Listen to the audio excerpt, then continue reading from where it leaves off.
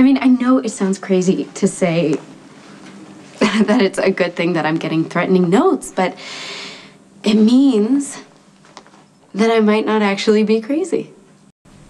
The whole time that I imagined you awake, guiding me through everything, I was relying on you to be my strength. And now I realize that I have to depend on myself, which is what you tried to teach me, even if you were only in my head.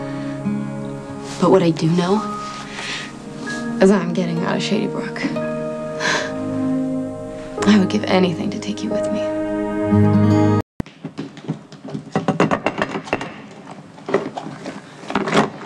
Hey. Hi. Sorry.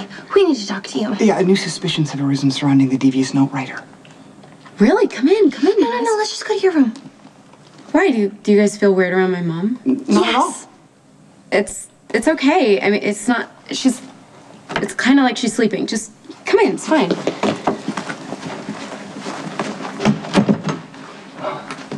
So, mom, um, uh, Spinelli's here. He's the, the friend that I told you about. He's. We've been friends since the day we met. Uh, greetings, um, mater of the fair one. She's not deaf. Not that she could understand you if she could hear you, because she can't. Can she? No one knows for sure. Um, Mom, Maxie is also here. She's the last person I ever imagined calling my friend. Hi, Mrs. Spencer. It's me, Maxie Jones.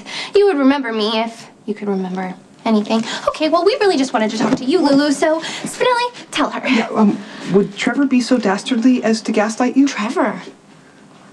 Well, he always hated the idea of me and Johnny. Told Johnny that I was a liability. Okay, then we must hasten to pick up the Dark One's trail and secure proof. What proof? I'll know when I see it.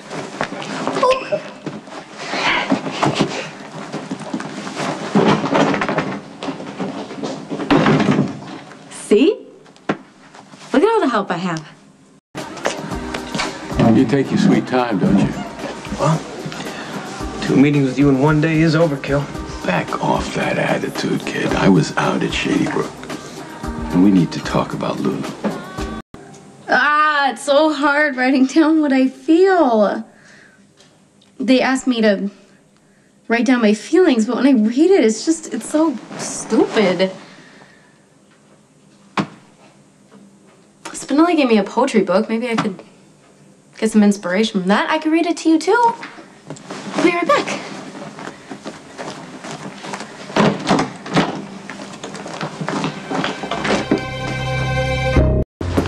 Lulu was in a tough situation. But you already know that. You don't have any new information for me. I got no reason to stay. Hey, hear me out. I'm on your side. Can you honestly look me in the eye and tell me that you think Lulu is better off for having seen you? She thinks so. Lulu is not a doctor, John.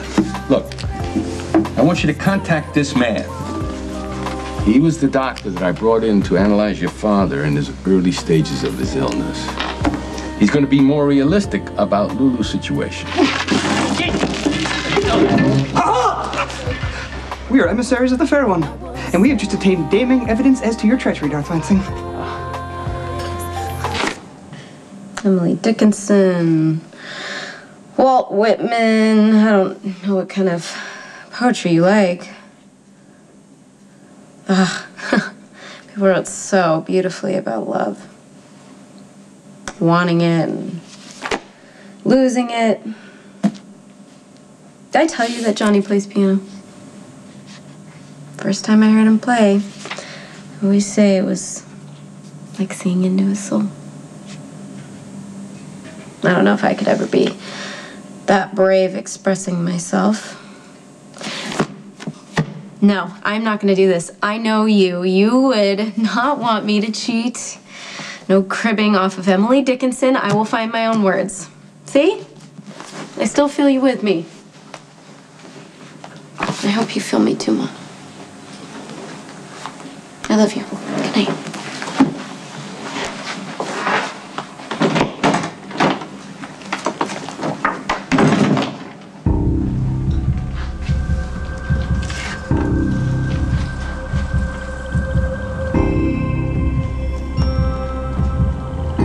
What are you doing?